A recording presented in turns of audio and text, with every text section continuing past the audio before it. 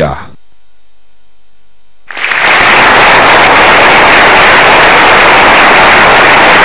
Baik, kita lanjutkan ya, Bung Nelson.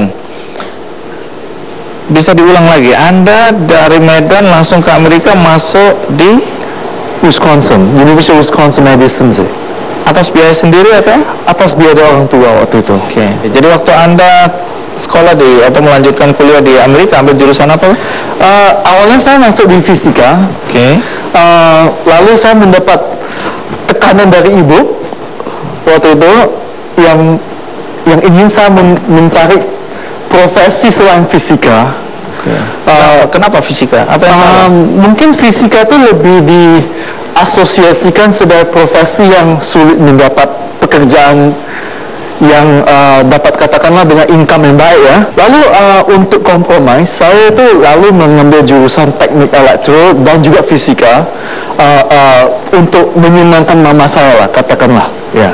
Tapi hal tersebut adalah hal yang baik karena um, itu adalah hal yang tepat sekali untuk saya sendiri dan semua inovasi di laboratorium saya sendiri uh, dan juga uh, publikasi ilmiah kebanyakan berdasarkan expertise yang berada pada dua bidang ini fisika dan juga teknologi dan uh, you know padahal awalnya itu adalah untuk hanya menyenangkan mama saya waktu itu Tapi sekarang Anda merasa bahwa itu hal itu adalah hal yang tepat tepat ya. Iya. Ya. Anda menyelesaikan S1 berapa lama? Uh, waktu itu uh, sedikit uh, di bawah tiga tahun ya dua tahun sembilan bulan. Sebelum tiga tahun udah Iya, selesai. waktu itu ya Predikatnya? Oh, su- semua kumlot lah saya kira tamatan Summa cum laude. saya kira tamatan terbaik di Wisconsin sih waktu itu. Wah. di, di satu seluruh universitas sih waktu itu. Summa cum tapi saya sebenarnya itu um, memberikan kredit tersebut ya kepada kakek saya sih. Maksudnya? Um, karena saya masih ingat waktu itu saya masih kelas 2 SD saya juara satu ya di kelas 2 SD pulang sebagai anak SD kan seneng gitu. Wah juara satu gitu. Seneng gitu. Lalu wah kayak bangga lah katakanlah dia langsung lihat saya gitu kakak saya bilang apa yang kenapa anda itu sangat begitu senang gitu? Juara satu di kelas 2 iya bener. Apa hebatnya tuh juara satu di kelas 2 SD lalu dia bilang kalau kamu juara satu memang itu yang saya memang di, beliau tuh expect dari saya dan kalau anda tuh tidak juara satu itu bagus ada pasalin kita lalu waktu itu saya melihat gitu wah ekspektasinya begitu tinggi gitu Baik, jadi ilmu yang Anda pelajari ini, kami walaupun sudah dengar tapi mungkin terutama saya ini nggak ngerti. Saya merasa Anda hebat tapi nggak ngerti ilmu Anda ini apa. Bolehkah dijelaskan ilmu Anda ini apa manfaatnya untuk manusia? Eh, begini saya dapat katakan eh, mungkin satu hal yang paling penting ya yang kita lakukan itu adalah dalam bidang LED teknologi gitu. LED itu lampu ya lampu itu ya ya kayak apa ya untuk lighting ini ya. Lampu ini sebenarnya ya mengambil eh, energi consumption yang sangat besar gitu di dalam hidup kita. Sekitar 22% dari eh, listrik yang digunakan ini ini adalah untuk lampu ini biasanya di, di Amerika ya saya nggak tahu di Indonesia ya pasti ada statistiknya yang berbeda sedikit. Tetapi antara uh, 22% sampai sekitar 30% biasanya.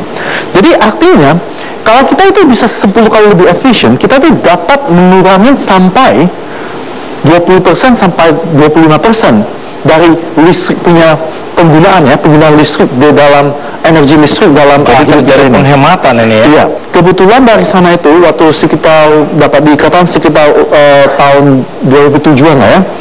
Se- kita tuh eh, publikasi beberapa yang hal yang penting dan juga paten beberapa hal yang penting dan sekarang ini eh, hampir 40% dari LED yang diproduce yang di, eh, eh, diguna, eh, digunakan di Amerika dan juga hampir eh, lebih dari 80% di Asia itu itu menggunakan eh, karya ilmiah kita dan juga paten dari kita tersebut. Dan iya. Menarik karena saya lihat di kantor-kantor, di rumah-rumah sekarang ini sudah menggunakan LED ya. Iya. Penghematannya luar biasa sekali. Rumah-rumah jadi lebih hemat, energi lebih hemat ya. Itu di dunia. Jadi itu manfaatnya buat manusia. Saya dengar belakangan Anda tertarik atau mungkin didorong oleh seseorang untuk membuat komik cerita tentang Anda. Betul? Uh, sebenarnya bukan bukan saya ya. Siapa? Sebenarnya istri saya yang membuat bersama dengan adiknya. Saya tuh sebenarnya tuh uh, di dijadikan objek oleh istri. Benar. Nah itu bener. kesamaan kita lagi itu ya. Yang merasa istrinya Nelson boleh berdiri? Oke. Okay. Oh ini dia. Baik, terima kasih ya. Adela Gosali Yose ya. Iya. Nama lengkapnya. Adela, dari mana ide atau gagasan membuat cerita bergambar kalau nggak salah tentang suami anda. Dari mana idenya ini? Um, sebetulnya saya mulai pikir mau tulis buku ini buat anak aku. Hmm. Um, saya punya anak udah tiga setengah tahun sekarang dan itu waktu yang penting rasanya buat cultivate um, keinginan untuk membaca. Karena membaca itu sangat penting ya buat dia orang personal growth sampai tua tuh penting gitu. Dan karena itu saya pikir ya kenapa saya nggak tulis papanya punya cerita? Soalnya papanya memang suka baca buku dan dia sendiri juga um, benefit banyak sekali lewat baca-bacaan dia. Dan karena itu saya tulis buku itu jadi semoga buku ini bukan cuma buat anak aku dan tapi bisa buat lebih banyak anak-anak yang bisa mendapat um, something gitu dari buku itu dari ya. buku itu.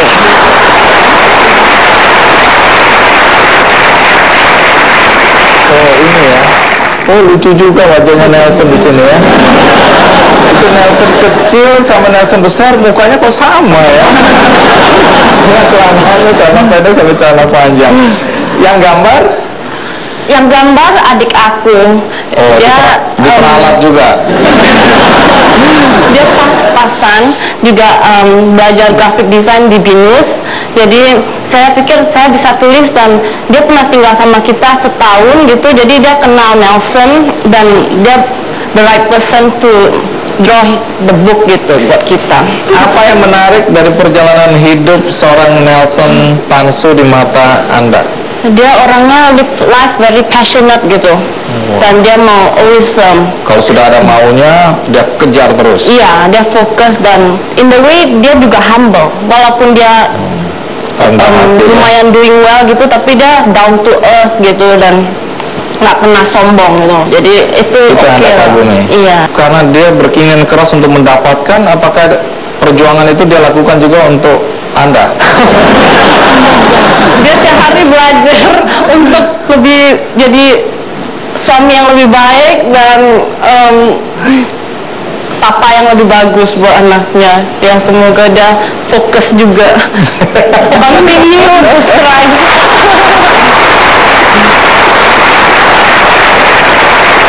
nah apa enaknya jadi jadi istri profesor ilmuwan saya senang dia bisa um, try to make the world a better place lah ya. Iya. Yeah. Membuat so bumi ini lebih baik lah untuk manusia ya.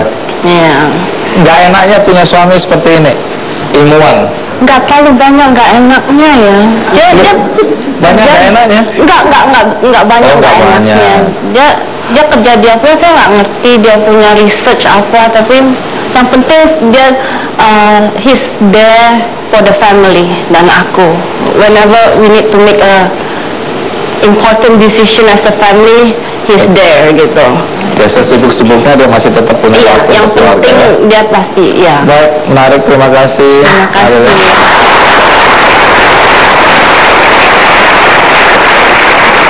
Menarik karena orang tua Nelson tewas akibat perampokan. Apakah itu kemudian mengurangi cinta dia pada Indonesia? Ikuti terus Kikendi